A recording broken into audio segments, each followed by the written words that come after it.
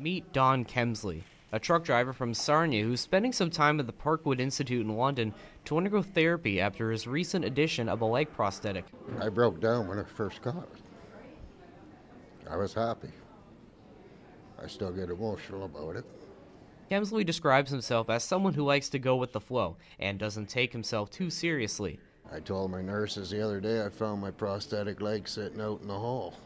They said, What was it doing there? And I said, Well, it's restless leg syndrome. Despite his rather positive outlook on life, he admits that he was in a dark place the few months after his initial surgery. I went into depression. I didn't want to talk to anybody, I didn't want to see anybody.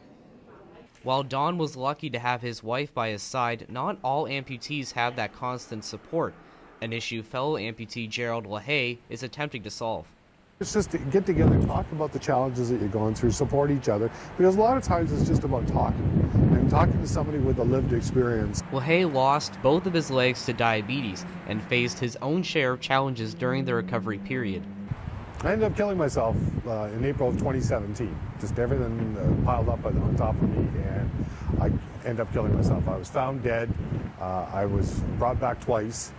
And it was at that moment, almost, you know, we're coming up on almost three years ago, where I made the decision that this is not the way I wanted to live. Not wanting anyone to suffer the same way he did, LaHaye founded the Amputee Support Group of London in hopes of reaching out to other amputees in the area.